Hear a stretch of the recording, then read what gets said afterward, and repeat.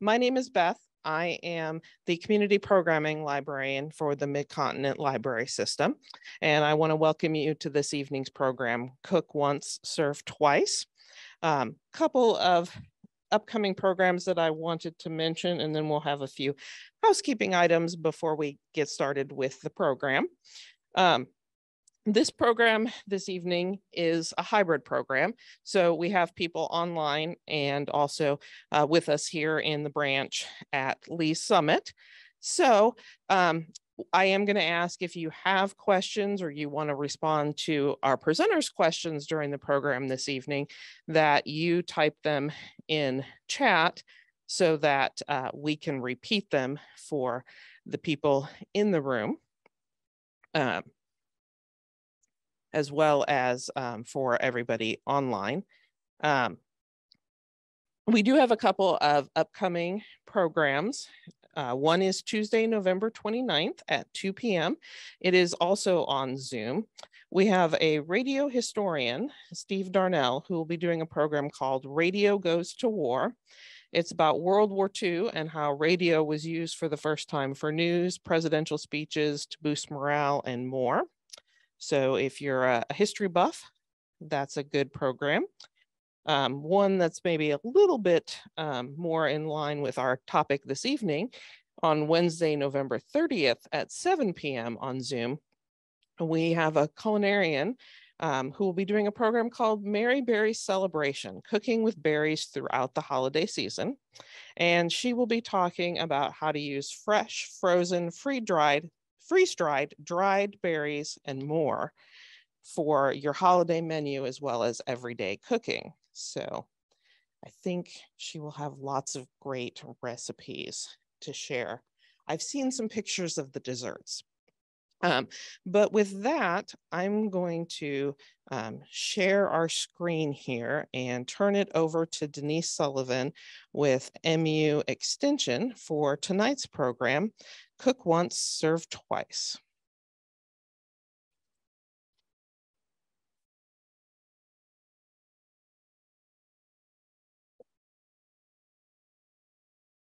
Hi, everyone. Welcome this evening. Um, as Beth said, I am Denise Sullivan. I'm a nutrition and health education field specialist with MU Extension, and I serve the Urban West region, which is basically the Kansas City area. Uh, primary coverage in Jackson County, but extended coverage into Platte County. Uh, working with me in this, uh, this uh, field is my colleague Melissa Cotton, who is currently on maternity leave, but we share uh, programming opportunities with uh, MCPL across the metro, and she'll be back work with us uh, work with us later this year. So uh, just a little bit about me. I've been with MU Extension for almost six years. Prior to MU, I actually I worked for uh, extension in Kansas through Kansas State University. And even before that, uh, began my extension career in Texas as a 4-H youth development agent and working with Texas A&M University. So I always like to give our little uh, you know, elevator speech about extension. It is a, a partnership between the land grant institution, USDA, and then uh, uh, local extension councils. So wherever you go across the country, there is an extension program uh, based out of the land grant system. So uh, today's uh, topic is cook once, serve twice, or as I like to say, cost meals, cost effective meals. And uh, so we're going to just hopefully leave here today. There's my little cost cook once, serve twice. Uh, leave here today with some ideas on um, just how we can make food preparation in general easier, more efficient, uh, and just maybe take some some burden off of both our you know our uh, grocery bill, our energy bill, maybe our personal energy or our actual energy uh, that that fuels our our house and our appliances. We'll talk about ways that we can even streamline that. So my first uh, question you know, to everyone, those here in the room and you know those of you in zoom and i'd like you to just as beth said you know give us your feedback in the chat of what is your biggest mealtime frustration? And and that'll help me kind of make sure that we're getting uh, you know that if i'm not on target with where your frustrations are that i can kind of wrap those in. So biggest mealtime frustrations okay um, we have several listed we've got a shopping time restraints cooking for one and eating leftovers days later. I feel that one. as well as prep time, too many ingredients, and time. Okay. I think I think you've come to the right place. I think I'm on the right track with uh, with what uh, we hope to uh, have you know cover tonight. And uh, so here's kind of what I'm hoping that we are able to do. You know, these are some of the advantages, as I said, to cost. Cooking once, serve twice. Saving time and energy. Um, I think we can all agree that there's a time crunch, uh, and and it it seems like you would uh, you know we would think that as we go through different phases of life that we might see some changes within that, but I'm not sure that's true. I think everybody uh, might be in a time crunch and or just appreciates being able to to utilize their time and their energy. Like I said, both personal energy and as we think about, you know, the energy that fuels our homes. Uh, I don't know about you, but my utility bills have been going up, and I find myself looking for ways that I can maybe trim that uh, that utility bill down. Um, so both the energy that's fueling my home and my personal energy, because I, I, get tired easy, it seems. Um, saving money is, is good for anyone, particularly as we look at those grocery, the prices in the grocery store, and we don't see a whole lot of uh, relief uh, from that. Um, someone mentioned leftovers. I'm a I'm a firm believer. I think that I think sometimes leftovers can taste better the second time around. I think there are certain things like that. I you know I think chili, uh, a lot of our soups. Um, if there's some of your favorites that you think uh, taste better second time around, love to have you you know share that. This if we if we approach this cook once serve twice uh, in a very deliberate and intentional uh, fashion, I think we can find that we will have a greater variety of foods and maybe get out of that rut of just doing the same old, same old, and hopefully then relieving that mealtime boredom. And uh, even, you know, as we think about that whole leftovers and, and day after day, uh, kind of things, hopefully we can examine some possibilities uh, that can help to relieve that.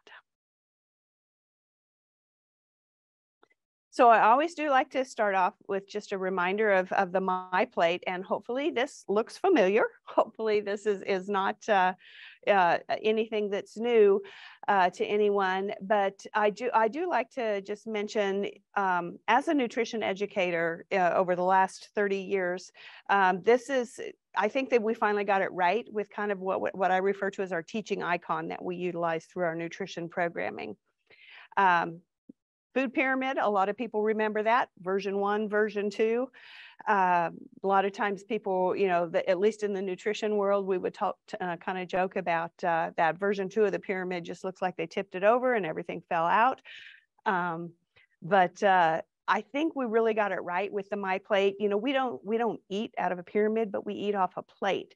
And so uh, that's the thing I do love about this, this teaching icon. And several specialized plates have been kind of modeled after, uh, after this. But when we think about just my plate in general, you know, half of that plate should be, you know, we should strive to be having fruits and vegetables. And then even, uh, you know, another fourth of that is also plant foods, uh, you know, grains and particularly whole grains if we can get those whole, more of those whole grains into our diet. And when we, we think about uh, what's happening with that, uh, with food consumption uh, habits, one of the things that we do know through research is that we're, we're falling way short of, of that intake of where we need to be on those fruits and vegetables. Um, only 10% of, of um, adults eat the recommended servings of vegetables, and a little bit more than that at 12% um, eat a little, you know, the, the recommended amounts of fruits. So we've really got some, some work to do to think about in terms of nutritional quality. And again, as we think about this through, a, through that, that planning lens of how we can maximize our food dollar, and our, our time that we put into uh, our meal planning, hopefully we can strive to get more towards this, uh, this goal of having half our plates fruits and vegetables. Because we do know that that is a diet high in fruits and vegetables is very key in prevention of a lot of chronic illnesses. So uh, that's that's the reason that uh, you know we hopefully are just a little bit more intentional about that.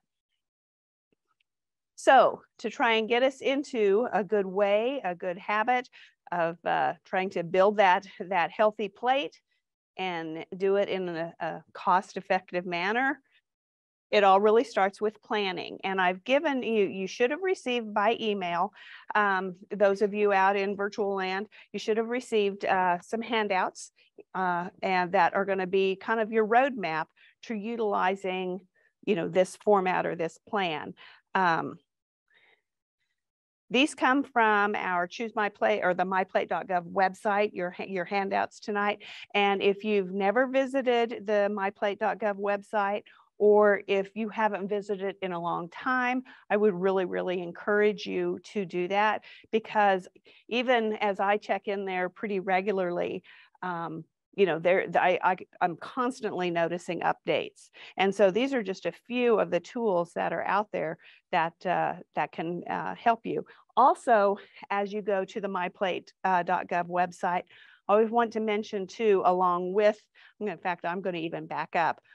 When we think about MyPlate and the dietary guidelines for Americans, uh, we I, I kind of talk about those hand in hand because they they do work together in terms of the the work that uh, we do in in uh, nutrition education through extension that's kind of the basis or the the groundwork for our educational programming one of the things we were discussing at uh, one of the branches yesterday when I was doing this program is I always like to ask people, do you feel like things are changing? You know, are they, are they saying different things all the time? And a lot of people are like, yeah, yeah. Um, and I, that's where I like to remind people that nutrition is grounded in science. It's based in the sciences. And in science, we do research, and in research, we learn new things. And so if you feel frustrated by the fact that they say, you know, things are always changing as far as what's good for you, um, just remember it's science and and that's what research uh, institutions like you know like mu like k-state uh, like the other land grants across the the country where they're doing research. And even you know even educational institutions that are not land grant institutions that are doing research in nutrition and health that's what goes into that framework of the dietary guidelines for americans and they are updated every five years as we learn new research. And the most recent edition, and you can find all 200 and some copies or pages of it uh, on the myplate.gov uh, website to learn about some of the, the research that's happening and what's guiding those guidelines. But the uh, most recent one we are working under is the 2020, so came out at the end of 2020 because we know what we all know what happened in 2020 everything slowed down for a little bit but uh, the 2020 to 2025 version of the dietary guidelines did come out late in 2020. And if we look at the calendar, we can see we're about halfway through. So uh, they're already starting to gather the science and the research of what's going on to see what might what might come with the next edition that would be due out in 2026 or so.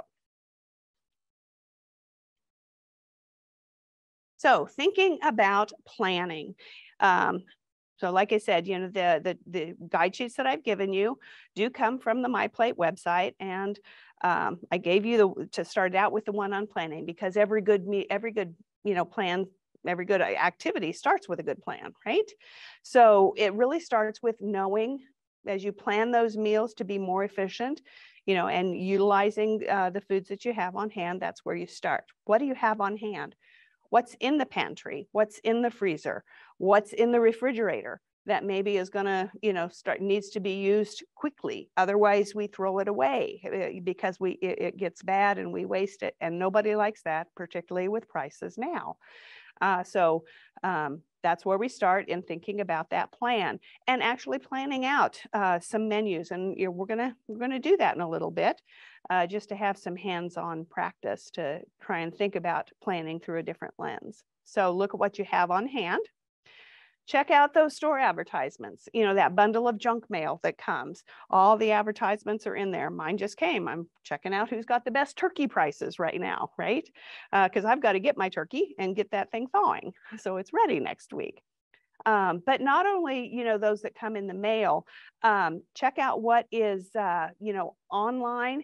If you have a loyalty card, and this we'll talk about this too in purchasing, but if you have a store loyalty card, make sure that you're kind of getting registered and set up uh, because you might even see different deals through those those store apps than you do within the just the, the paper advertisements and use a planning worksheet. You also uh, receive one of those in your packet. I'm going to be passing those out later here uh, as we get into that activity, but that's just an idea. You could do it on a, you know, just on a that sheet. You could do it just on a calendar. I know when uh, my kids were young, I had a big menu board that that I could wipe off, and I planned every week, you know, the week's menus and put a star by what night was a, a band concert or what night you know was 4-h meeting or whatever things that i knew i was going to have to be planning around to make sure that i was on target to have you know a timely dinner on the table or if it was going to be a mobile dinner out the door. So planning whatever works for you. Take a look at your recipes. Um, you know and maybe if you're feeling that boredom thing check out new ones that's something else i love about the my plate website there's a subsection called my my plate or my kitchen my plate kitchen that's what it's called my plate kitchen and they've got actually a searchable database uh, that it's like, oh, I need something, we're bored with chicken. I need something new to do with chicken. And so you could just search chicken and find some, you know, some new ideas there. Um, but then too, you know, what other thing? I know I see lots of recipes scroll across my Facebook feed. Um, I've got this giant Pinterest board of recipes that I'll probably never get to each and every one of them. Um, but, you know, utilize, you know, different tools like that. And then as you're planning and thinking about this cook once, serve twice principle, just think about you know flipping a switch in our brain and about how we even term you know somebody mentioned leftovers Okay. We've gotten to where we call them plandovers in our house because I'm thinking that way. Uh, and, you know, as we as we think about plandovers, uh, I'll actually we'll package things down into what what we call at my house happy meals. It's a lunch size container of the leftovers. We've called started calling them happy meals because I'm happy I don't have to pack a lunch in the morning. I don't have to think about that. It's ready to go uh, as soon as I clean up from dinner and then extenders uh, you know what and that's, this is kind of what i call act two cooking uh, you know what can i do as a as a stage you know act one meat for instance and then how i can make that change into something different along the way and we'll explore that a little bit more in just a bit. So that's planning. Get your plan together and work the plan. Then we get on to purchasing okay for number one rule, eat before you shop. Am right? Who's who's gone to the store hungry and spent more money than we thought we would? Um, and for those who have little little kids, you know, try not to try not to take them along. Or I, I'm like I try not to take my husband along because I can end up with more things in my cart when he's along too. So if you can shop alone. Um, and uh, you know, just that way you you remain more in control. So eat before you shop, shop alone, stick to your list. You know, hopefully while you've been making that plan, looking at what we uh, were going to plan out for many years, look what we had on hand. And that's how, you know, we develop that list that we're going to take to the store. And then we try to stick with it. Um, and certainly there are things I've, all, I've gotten to the store and go, oh, walk by something and go, that didn't make the list, but I know I need it, uh, you know, and I'll do that. Uh, but I try very, I really, really, really try to rein in that impulse purchasing. You know, and that's one thing I do have to say about the pandemic. When I did the the uh, online shop, you know, ordering, order online and go to pick up, I found that I saved more money. Anyone else? Yeah. um, and because uh, that whole impulse purchasing just kind of, I didn't do that. So um, it might be time for me to re-examine that and just think about that as a way to stick to your list. And two, uh, when you find it, and I, am sure you probably have, because I know it happens to me, I'll find myself wandering around the store searching for something. You know, they be, be advised that they kind of resell that store real estate about every six months. And so when you go wandering around trying to, to find what you're looking for, when because they've rearranged the store, it's because, you know, kind of it's been that time to uh, to update and, and who's going to pay premium on the real estate of the store shelves. So that can affect us, our ability to stick to our list. Um, comparing unit pricing, you know, that's one of those basic shopping things that uh, we like to remind people of. Certainly if you're doing the online ordering and pickup, you don't have the ability to do that on everything. Some of them, some of them you can find that uh, still, you know, as you're doing that, your virtual card, um, different stores will do better about having that information right there so you can kind of compare that. But um, that's a key way that we can think about actually saving you know real money is uh, are, are we getting the best value because that kind of ties right into the next thing buying in bulk and repackaging sometimes when we buy larger things i'll buy you know i'll buy the big package of chicken breasts because it usually is a cheaper unit price far more than we need in our house, but that's when I'll repackage it down into convenient sizes. And so, and then re, and freeze it uh, in a size that's suitable for us that I can just grab. And typically I just, I will uh, package uh, chicken breasts just in individual like uh, baggies and then into a large bag so I can grab out what I need.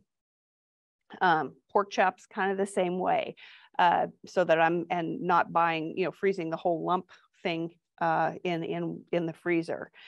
And just a note on just, it's a good idea to do that because honestly, the packaging that the, you know, a lot of our meats come in, they are not you know they're not airtight and they're not designed to freeze in and so you will have some quality loss uh, if things get shoved to the back of the freezer and you end up with freezer burn just because it's not designed for for you know long-term storage so buy in bulk and repackage uh, and think about how you can get that, uh, that best, best purchasability.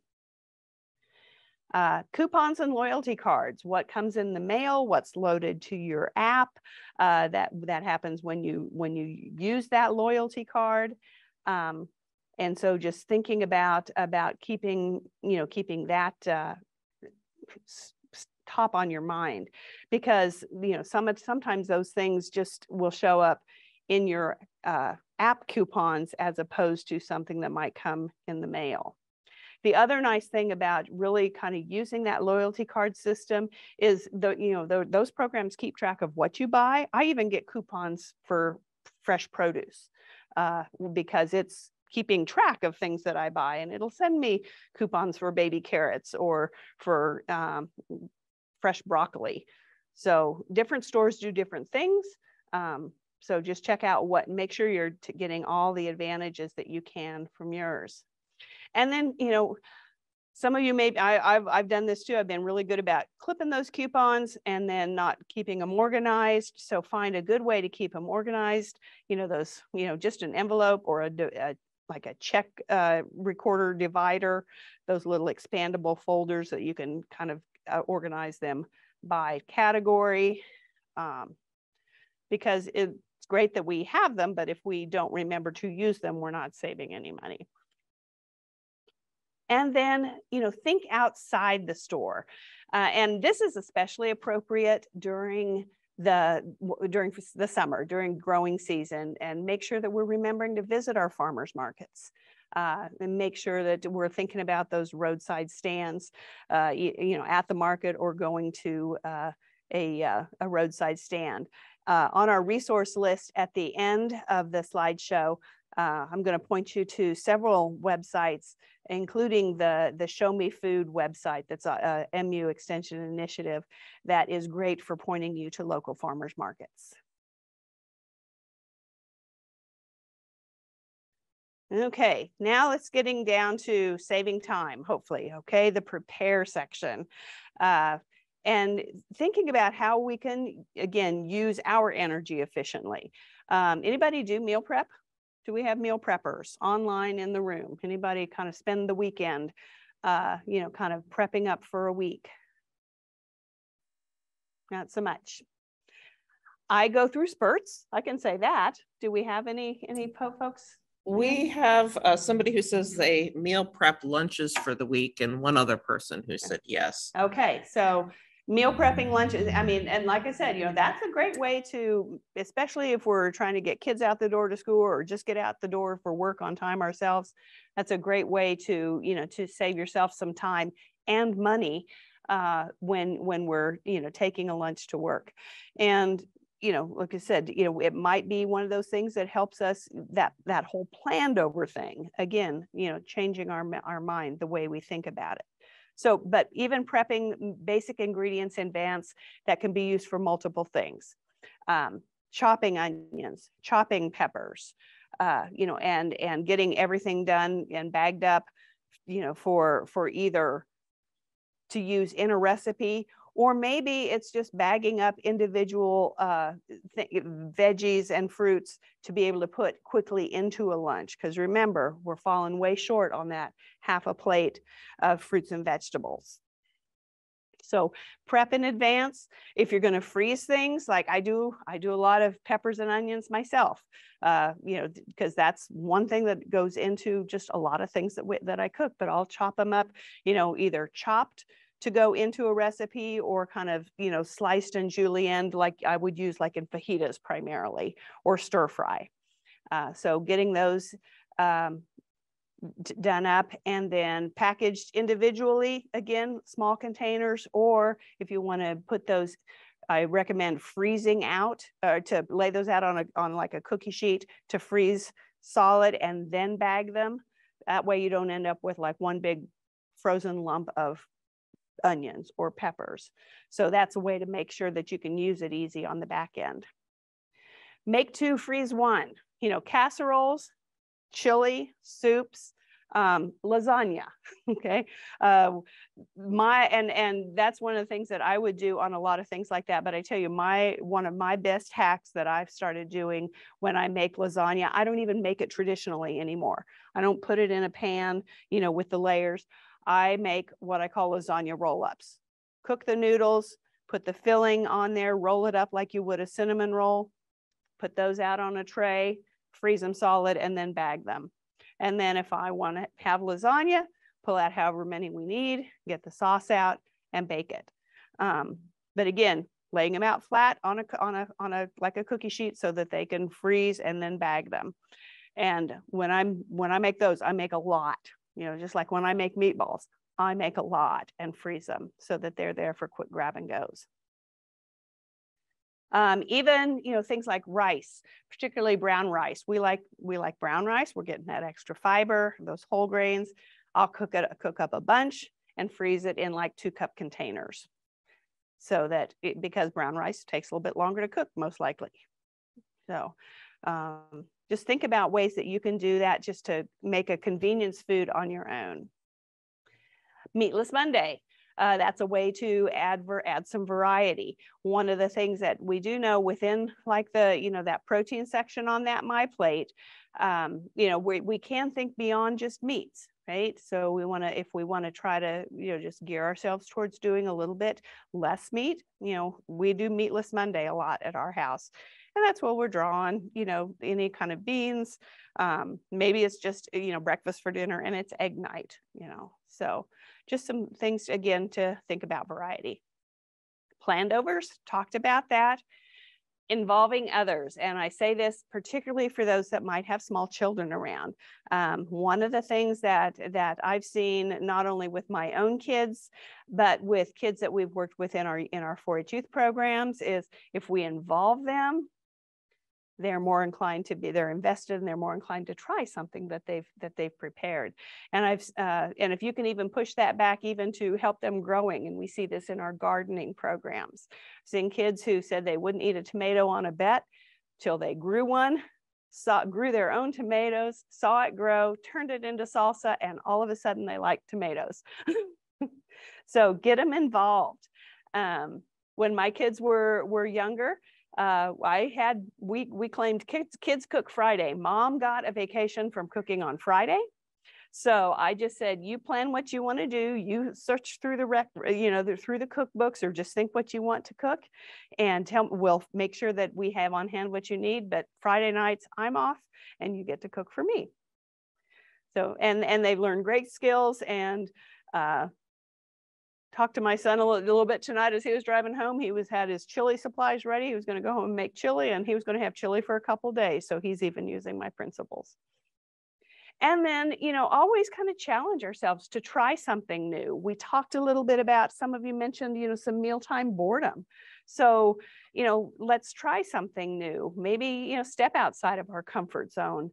Um, and uh, again, you know, with kiddos, though, we want to always remember if we're going to bring something new in, we always need to be sure that we're pairing that with the familiar. And so that, uh, you know, it's it's going to be one of those things. They've got something new, but also something that they're familiar with, just to keep things uh, keep things interesting. You know, and we've all got, you know, like I said, recipes flowing across our, our Facebook feed or on our Pinterest boards. Uh, that's a, a great way to to check those. But um, you know some and and even just you know uh, you know, just search recipes on you know fish recipes if you're trying to get fish you know we'll get plenty of ideas but again I, as i point you to the the MyPlate website the MyPlate kitchen um, those might be a little bit healthier than just the the standard ones that that might be out there using just a whole lot more you know fat or sodium or sugar the things that we do need to be reining in then we want to think about storage. Once we put in all that effort, let's make sure that we're going to be storing and, and handling things properly for that, you know, for those planned overs. Uh, and I especially like to talk a bit about this as the holidays are coming up. Um, I mean, I can think of plenty of times growing up where the Thanksgiving feast, any of the Christmas, any of the holiday feasts after dinner, everything sat out all afternoon don't do that don't be that person. Uh, we do want to be remember that we put things away uh, in a timely manner uh, you know so that we can keep food safety uh, in mind the very last page of of that uh, well the one i have here in the room i kind of had the the planning shopping and and time saver uh, tools but the very last page on on our set in here is a refrigerator and storage chart that comes from the uh, foodsafety.gov website you know that's one of the things that as we as we get around the holidays and even throughout the holidays i get a lot of phone calls of you know i've had this or we're cleaning out someone's grandma's house or something uh, that's a lot of times where those calls come from. And we found you know this food in the freezer or this food in the shelf. How is it safe?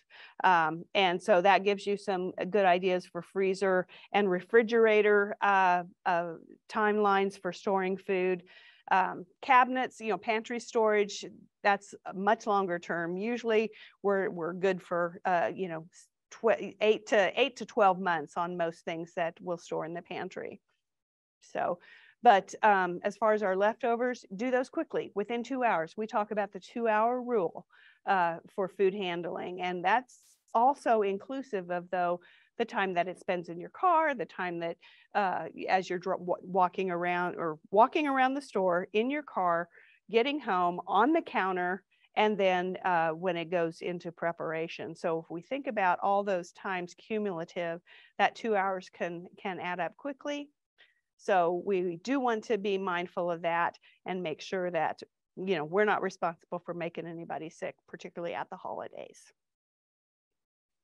things like soups and stews and sauces that are very dense and voluminous and really anything we want to try and you know spread that out as much as we can but soups stews sauces i always recommend put those into like a cake pan so it can the volume can spread out and then once it's cooled get that into your storage container um, as we think about uh, you know the holidays coming up you know with the turkey get that sliced up don't put the the big turkey leftovers into the fridge get that off the bone package down uh, you know any of those side dishes uh, so that we can spread that volume out and then use those timelines on that storage chart.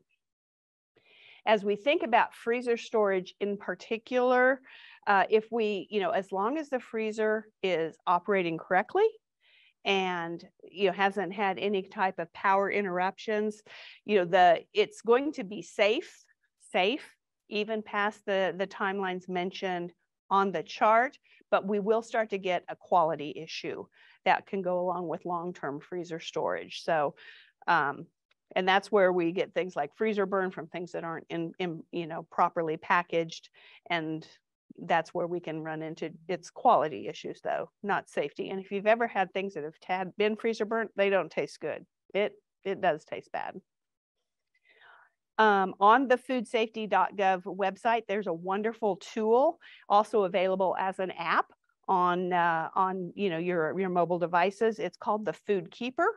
And you can uh, search by category, you know, to find out recommended storage guidelines. So that's a, a really, really handy tool that I would recommend you check out. So now we're thinking a little bit about energy, you know, our energy and, and our actual physical. Do we have any, any questions, comments, or anything that's come in, Beth, through our, our Momo folks? Anyone here? Not from online. Okay, all right. All right, so thinking about our tools, you know, what are what are the tools that can make this whole whole thing uh, easier for you? Um, you know, and I I just lifted up there the ones that are kind of at the top of my list. In my slow cooker, and then I call my fast cooker or you know the pressure cooker, either you know the one that was my grandma's that I don't use so much that sits on the stove top, or the new electric one that gets you know, used a lot more at my house, those electric pressure cookers. Um, those are two that get used a lot at my house. Um, air fryers have become really, really popular. And I always like to mention to people, if you have a convection setting on your oven, you have an air fryer and even the newer uh, ovens are starting to even use the use that terminology but if you have a convection setting which just is basically the fan that circulates that hot air. That's basically what air frying is. It's a circulation of super hot air. What's nice about the air fryer, it's a much smaller unit so that heat and, and air circulates uh, just a whole lot more efficient efficiently. Now, it may, you know, that that may or may not fit the size of your family. They do come in, you know, different sizes. And the one that I have um, is actually, it almost looks like a mini oven. It is more of a, a door that opens where a lot of them have the basket that slides in and out. Um, toaster ovens you know, and then we start to see all the crossover combinations of all of these. There are, are some of those multi uh, multifunction things uh, that that cross the lines. Even blenders, there are cooking blenders that you can cook in, like a cook a soup or something, that have a, have a heat activation. So um, Christmas is coming. Maybe you should you know include some you know efficiency tools that can make your job um, easier. And this is where I'd like to hear you know if you have things that have that you use in your home that lighten your load you know some tools and tricks. While we're waiting for people to respond to that um, somebody had asked about the recording being available and it will be uh, um, put up on our youtube channel and i put the address uh, in the chat for those of you online and i will send it out in the email after the fact as well Perfect. All right. So practice time now. Um, and this is where, you know, those of you online, um, I've given you a couple, you know, a couple ways that you can use this tool. And all again, all of these you'll be able to find through the resource list. But um, the create a gr grocery, ugh, I can hardly say this. Create a grocery game plan, kind of weekly planning sheet. Um, and and the one that you see online, you know, is much prettier than the one that we have printed in black and white here in the room. Um, but uh, that's just a, a tool that. Uh, know, we uh, I want to just set my time. I'm going to set my timer on my phone, and I challenge you. Hopefully, you've had a, you had a chance to pull that down. I'm going to set a timer for two minutes. And I'd like you to plan at least two days of meals that and and think about these meals you know that that you're going to put down on paper through that lens of how can we do this as a you know cook once serve twice two three even times even and change it up along the way okay so two minutes two days worth of meals and if you get more than that if you're on a roll keep doing that keep going and I set my timer and I'm going to pass them out here in the room.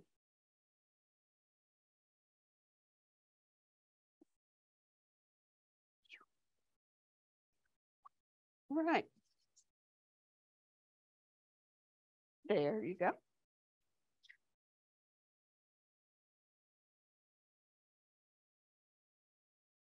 Here you go.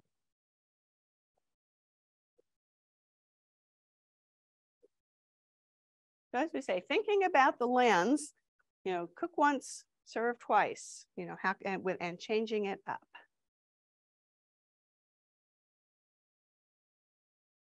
And as you're thinking, you know, and if you have questions for those at home, uh, please drop those in the chat. We did have someone mention um, in response to your previous question, rice cooker. Rice cooker. Ah, yeah. My daughter uses hers a lot.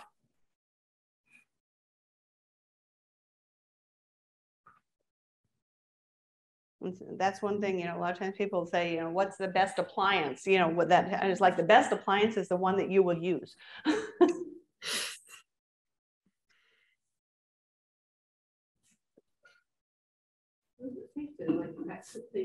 plastic containers or do you recommend like glass containers? So it, it kind of, you know, depends on what kind of plastic it is. Some of them are, are designed like to take microwave temperatures. Some of them are not. Um, I, as, as I've done replacement over time, I'm going more towards glass. My husband and I have that, that debate a lot. But we've got some still from, you know, that, uh, that are designed for, you know, for reheating in the microwave. Okay. We've got a couple responses online. Okay. We've got chili and taco soup, vegetable lasagna, white chicken chili, and then um, I like veggie and rice casserole with fruit as dessert. Um, and then somebody said I went from microwaves to steamers for everything. Okay. Yeah, I mean, think about when the microwave used to be the you know the secondary go-to you know appliance, and I don't I don't think that's that's quite uh, you know quite the way it is uh, anymore. So as some of these other things have come along that kind of you know just make our life easier and more convenient great ideas though on on those kind of those planned overs um, and so I kind of I that kind of wrapped these two questions together as far as you know turning into that cost uh, idea. So here's here's kind of you know my my uh, kind of standard list of things. How can we take some of these Act Ones and I put kind of my standard uh, you know, ones in here of what can happen. What do you do with a roast chicken? What do you do with leftover roast chicken? What are some of your favorites? Chicken salad.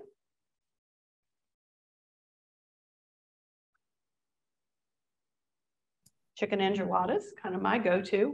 We had chicken, chicken soup chicken online. Uh-huh. Um, I like to throw it in rice with vegetables. Okay, so just like a chicken and rice casserole then? Yeah. Okay, spaghetti with marinara sauce. And I'm, you know, so, and, and just as, as a clue, I'm telling you, I, I, it depends, do I make, am I making spaghetti happy meals? when I package them up, or am I going to think more creatively beyond? And my, so what are some things you could do with the leftover spaghetti outside of just spaghetti, happy, spaghetti meat sauce happy meals?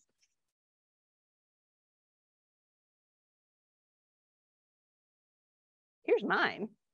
I have a specific pasta salad, not my general pasta salad that I use with the twirly noodles. Uh, and, but I've got a, a, specific pasta salad I just think tastes better with spaghetti noodles. And so that's kind of mine. And then we'll do mini pizzas. Okay. English muffins is typically my go-to. Okay. Ground beef. Everybody's got ideas for ground beef. So just give me all the ground beef ideas. Because I'm thinking here, this is what when my kids were in college, I would buy those those super big chubs at Sam's and I'd brown it up and package it up into to like one pound containers, you know, pat bags, so that I knew that they could I could try to set them up for for quick and easy rather than always calling for pizza. We've got taco salad and taco soup. Mm-hmm. Meatball sandwiches. Meatball sandwiches. I like to put it on pizza. Pizza. Yep. Stroganoff is one of our big ones. We have got a ha- I've got a hamburger stroganoff recipe and I've got like a, a round steak one. You know, so two different recipes, two different slants. Goulash is a, fa- a favorite at our house. Pork chops, leftover pork chops. Sometimes they're not great, right?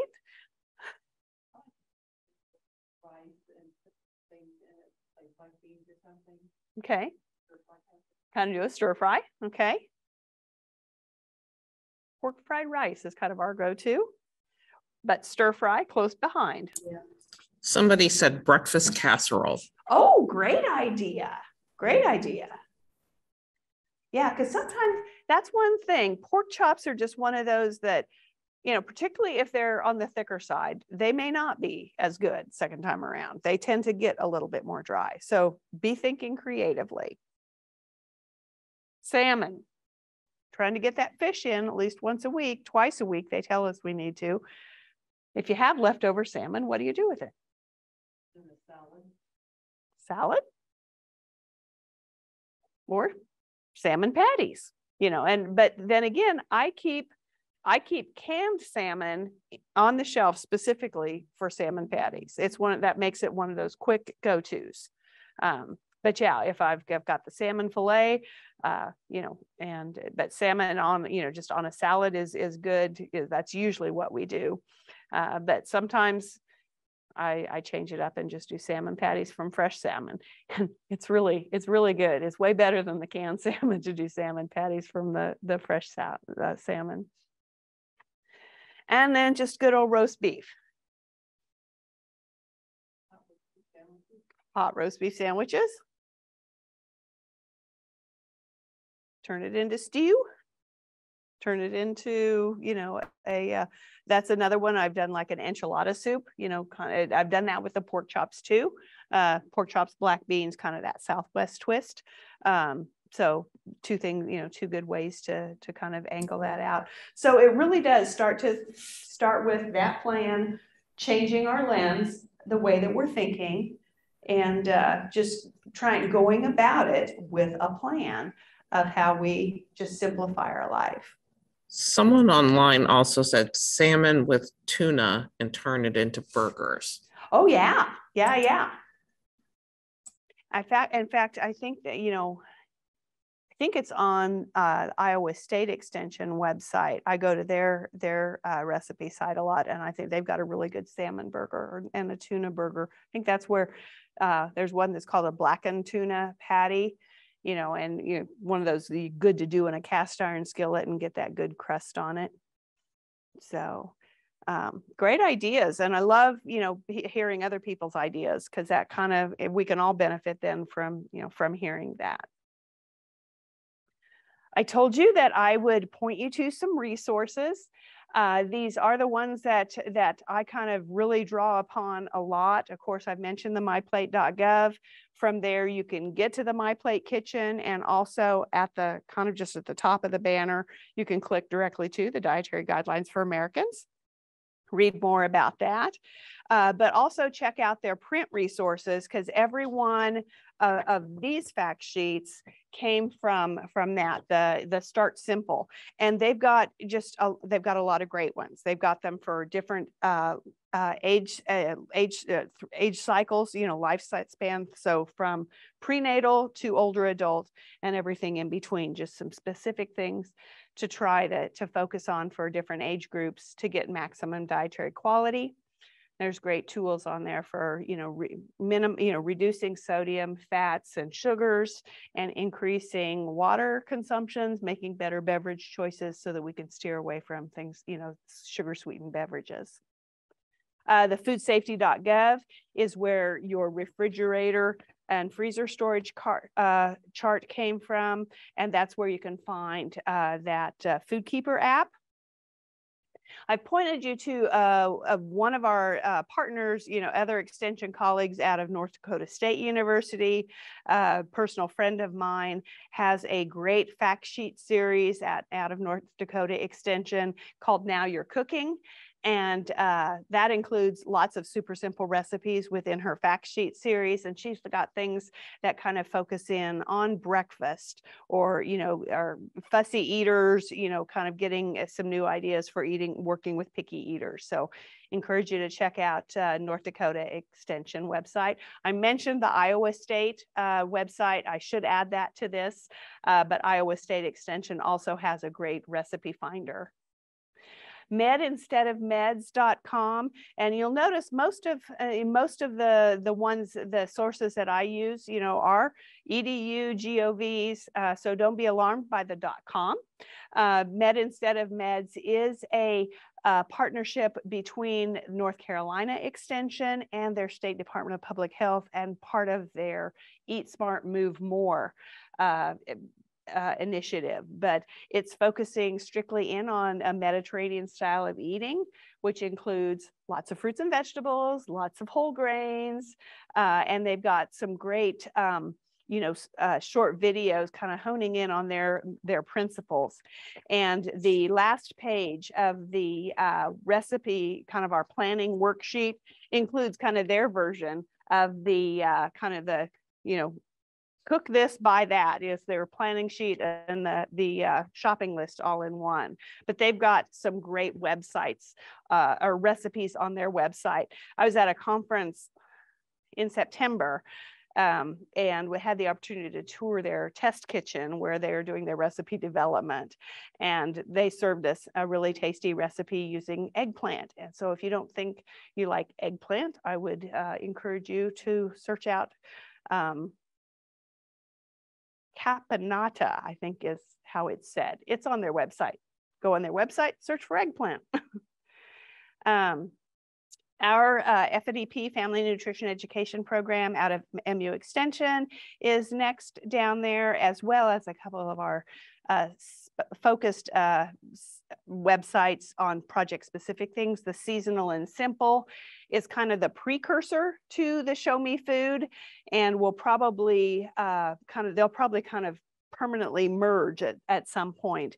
But the Seasonal and Simple uh, dot info yeah, that's a, that seems like a strange one. People are kind of confused by that, but I'd encourage you to look that up.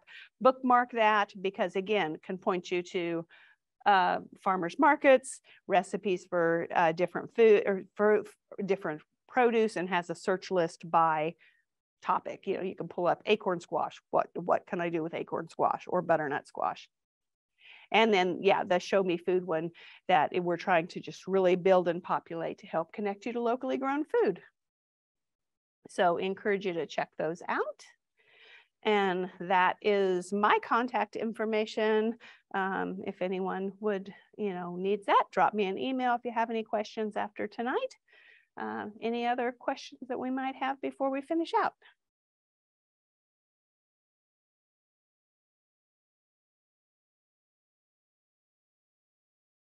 All right. While we give people a chance to to type some questions in online in case they've got them.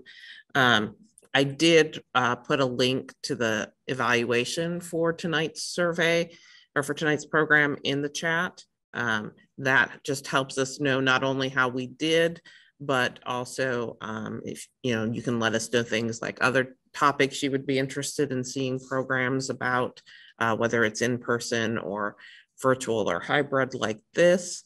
Um, for those of you who were online, I, I know there were some people who um, registered um, a little bit later after I had already sent out the handouts. I will resend those along with the link to the evaluation to everybody. Um, but I'm not seeing any questions in the chat. So unless we've got any other questions here, I think we are good. All right. Well, I want to thank you at home for taking your time to, to tune in and thanks for being here. Um, hope you gathered, some good information and some tools to make your life a little bit easier in the kitchen. Thank you again, uh, Denise, for this wonderful program. Um, I think I know I will find the handouts to be useful because I'm bad about uh, when I get to the store not having a list of what I need for what I want to make. Well, um, I, I left out the biggest thing is like, don't write it on paper, put it in your notes in your phone. I rarely leave my house without my phone. So I like to keep my, my grocery list on my notes. Uh, and thank you to everybody for coming, um, both in person and online. And uh, the other thing I'll mention uh, for those of you who may have joined late or want to go back and review, um, this will go up on our YouTube channel. And I did uh, put that address in the chat a little bit earlier, um, but it is um, YouTube at, uh, sorry, not at, youtube.com backslash MCPLMO. Um, it usually takes us a couple days to get it up there, um, and I will include that address um, in the email with the handouts and the and the survey. But you'll be able to go back and review it. Um, so thanks everybody for coming, and have a great evening.